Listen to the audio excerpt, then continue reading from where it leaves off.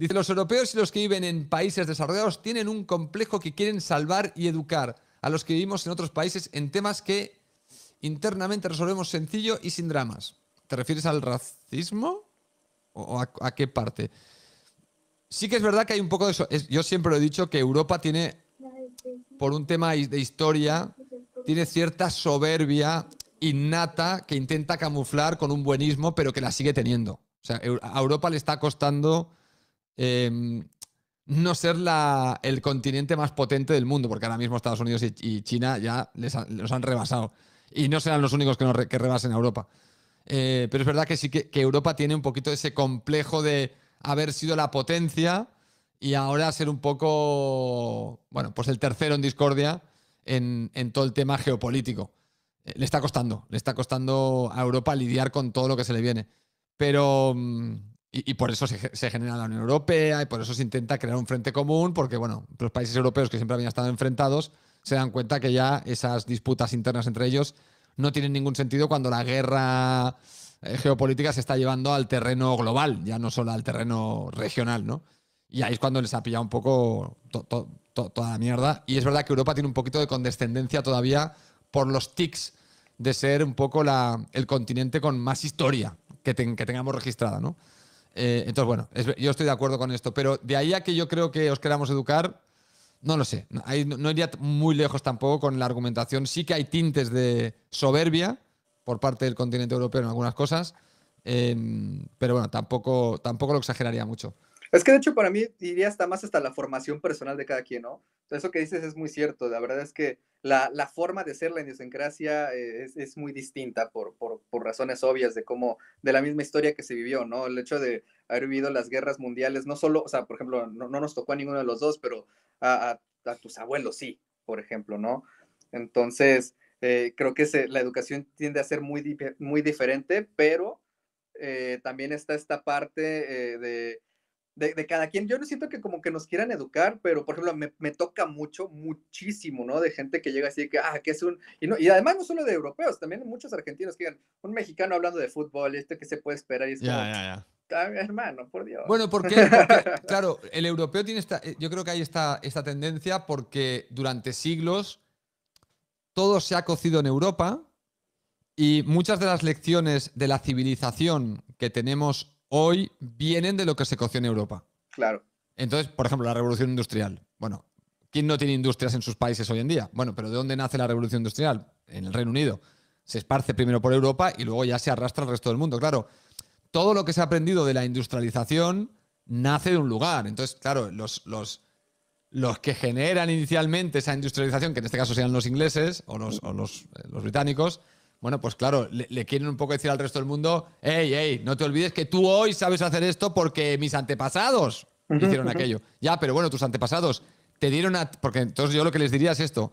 Muy bien, tus antepasados te dieron la ventaja de ser los primeros y tú la has perdido. Háztelo mirar, campeón, porque te, están superando los chinos. Ahora Entonces, tus antepasados, pero tú eres un inútil, ¿no? Claro, pero tus antepasados estarían flipando diciendo, oye, te dimos esta herramienta y te están pasando la mano por la cara los chinos. Amigo. totalmente. Eh, pues, pues, cuidadito, ¿eh? Cuando tú sacaste, cuando yo saqué la revolución industrial, los chinos iban en, bicicleta. Así es, así claro. bueno, y si tenían suerte, no, ni siquiera en bicicleta, iban en, burro. Entonces, bueno, también es verdad que hay un poco de. Pero bueno, no sé si lo dice por el tema Vinicius. Hay un libro que os voy a recomendar que se llama The War on the West, la guerra contra Occidente. Eh, no recuerdo el nombre del autor, pero bueno, buscarlo, porque te habla de muchas de las cosas que en Occidente se están tergiversando de una manera brutal, entre ellas el racismo. Eh, y entre ellas lo que dice Vinicius, que España es un país racista. No, Afganistán es un país racista.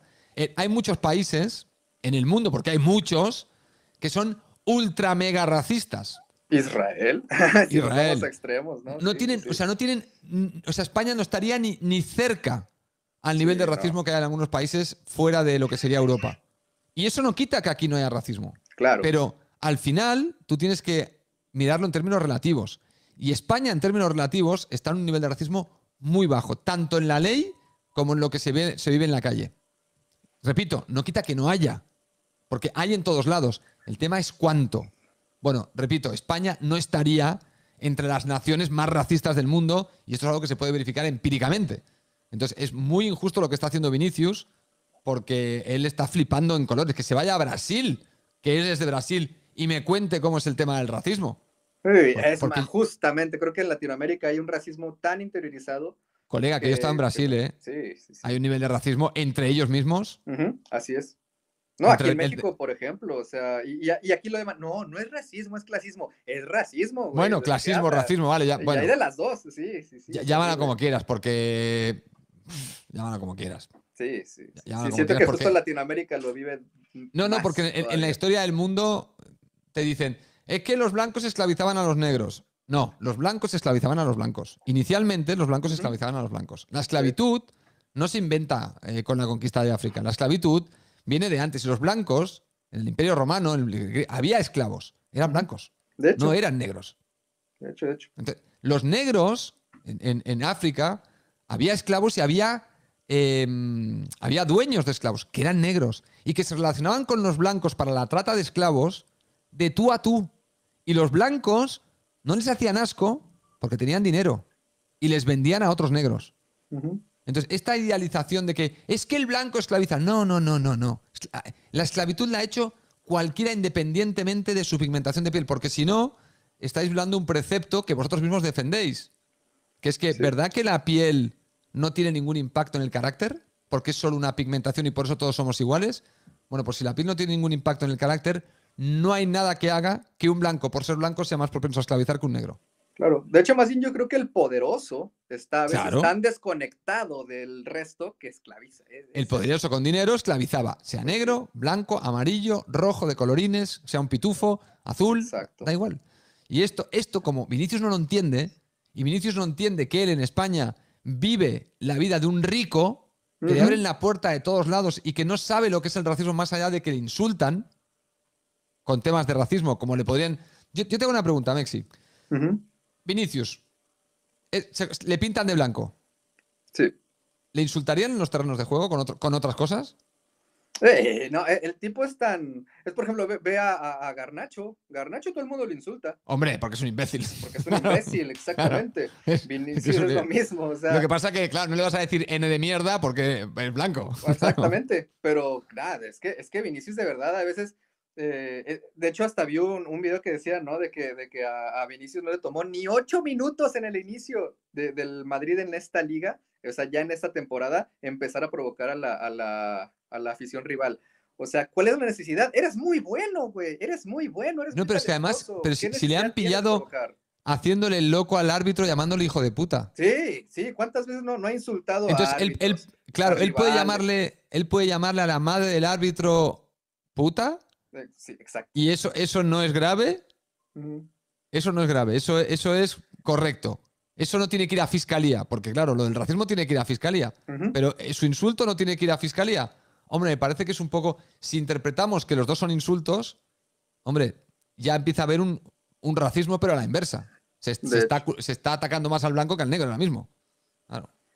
Sí, es que, es que más bien se está aprovechando de, de este glitch, ¿no? Del sistema, de que sabe que hay un problema, porque sí lo hay, pero ya él, lo explota, lo, lo, instrumentaliza y él dice, yo puedo ser un completo imbécil y al final uso la carta del racismo para decir, es que ve cómo me insultan, ¿no? es que aquí, estás muy mal. Aquí hay esto, eh, un negro pega a un blanco y es una agresión. Un blanco pega a un negro y es una agresión racista. Sí, sí, sí. Entonces dices, espera, espera, espera. O sea, a mí una persona de color me puede pegar y simplemente es que me ha pegado. Pero si yo me defiendo y le pego, o, por lo que sea, yo le pego, ya no es solo una agresión. Si yo le pego no porque sea de color o lo que sea, sino simplemente le pego porque nos hemos discutido y se me ha ido la mano. Eso ya es racista. Hombre, es llegar a una simplificación que lo único que va a crear son problemas. Porque hay que saber cuando algo es... De, de hecho, mira, de hecho, ¿sabes qué me pasó de pequeño esto? Mm, ajá. A mí de pequeño me pasó esto. Ahora me, mira, ahora me he acordado, no me había acordado hasta ahora. Desbloqueaste un recuerdo. Sí, desbloqueé un recuerdo brutal. Vino a mi colegio, con yo con 11 años o 12, vino un chico negro.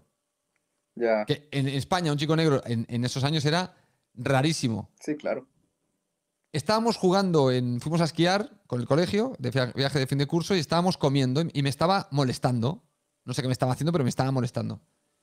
Y recuerdo que lo agarré de la solapa y había una especie como de radiador que iba del suelo al techo plano porque estábamos en una, como un hotel de esquí, hacía un frío de cojones y había unos radiadores que cubrían la pared de punta a punta, de arriba abajo. Y recuerdo empotrarle la cabeza contra el o sea, cogerle la solapa y empotrarle la cabeza contra el radiador. Y, y era un tipo que me sacaba media cabeza, era un tipo enorme. Sí, sí. Eh, y claro, el golpe que le pegué en la cabeza le hizo daño. Y entonces, como éramos niños, a pesar de que era mucho más grande y me podía posiblemente romper en dos, se puso a llorar. Recuerdo que me dijeron que no le podía pegar porque eso era racista. Sí, es que, es que ese es el problema. Y, sea, y yo, y yo tenía 12 años, y estamos hablando del año 84, 83, ¿eh? Y recuerdo Sí. el profesor decirme, no le puedes pegar porque no puedes ser racista. Yo pensé, pero si no le he pegado porque sea negro. Si le he pegado porque el hijo de puta me está dando por el culo todo el rato, ¿sabes? Sí, ¿no? Y ni siquiera se molestan en investigar el por qué, porque No, justamente, si para ya- que un ya era- de odio, tiene sí. que haber una causa racial, sí. si no Sí, la hay. sí. A mí me lo Ahora me he acordado, tío. Me llevaron y me dieron una chapa. Y yo pensaba, pero si yo no sé- pero si yo, tío, si mi- además en aquella época, ¿sabes quién era mi ídolo? Eh, no sé, no sé. Ah, quién yo, era, sí, yo tenía varios ídolos. Uno era Eddie Murphy. Ah, ya, sí, pues sí. Acá- Yo tenía 12 años, habían estrenado, es- ese año, un año antes, habían estrenado Super Detective en Hollywood. Bueno, Beverly Hills Cop, que aquí se llamaba Super Detective en Hollywood. Sí, sí, sí, sí. Eh, mi jugador favorito, de, jugador favorito de básquet del Barça, porque yo en aquella época miraba mucho básquet, era Andy Norris, un americano negro. Yo era fanático de, de- de la gente, o sea, a mí me, me encantaba la gente de color. A nivel estético, a nivel todo. Siempre me, me han fascinado. Los boxeadores. Detestaba a los boxeadores blancos, tío, de niño. En mi casa se veía mucho boxeo. Todos los boxeadores. Yo era fan de todos los negros. Marvin Hagler, Ray Sugar Leonard. Los blancos me parecían todos unos torpes. eh, No, me- sí, me gustaban. sí, no me gustaban. sosos, ¿no? La mayoría. Sí, sosos. Y luego un poco tipo Deadpool, que al blanco se le ve mucho la sangre y al negro no. Sí, claro, claro. Entonces era como, hostia, van protegidos ante el hecho de, ser- de- de verse rotos, ¿sabes? El, el blanco enseguida se le ve roto. En cambio, el negro, no- como no se ve tanto la sangre, no es tan escandaloso. Hostia, parece que no le he hecho daño y va el tío sangrando, pero en cambio, el blanco, un granito, le, le rompes un granito de un puñetazo y ya parece que le ha roto la cabeza. Sí, no, simplemente con el momento que se enoja ya se ve todo enrojecido, ¿no? Claro, claro. Y, si le pegas, se le ve la cara roja y tal. En cambio, al, negro le cascan y nunca tiene marcas rojas en las costillas, donde sea que le hayan pegado, ¿no? Sí, no, O sea, no, no, no. no se detecta donde tiene el daño hecho. O sea, que Sí, es, no. es una protección. Bueno, eso, por eso te digo que eran cosas que a mí, claro, me daban la chapa y yo decía, "Pero, tía, que- o sea, si- ni, o sea, ni, ni- ni me he percatado de que era ni negro, ni blanco, ni azul, tío. A mí me ha tocado los cojones y le. Pues me ha hecho enfadar y ya está. Pero bueno. Claro, es que, es que justo es eso, así, así de fácil, pero, pero es- ¿qué, qué es lo más sencillo? Decir, no, pues es que lo golpeó por, por racismo, es como, a ver, pero, pero Sí, si me sí. está jodiendo, o sea, me- se la pasa todos los días jodiendo. Bueno, eso- en realidad ese chaval era muy buen tío, ¿eh? Te tengo que decir Ah. que. Sí, ese, ese tío era muy buen tío. Me, la actitud ese día fue raro, porque era un tío que intentaba encajar, supongo que porque se veía muy diferente.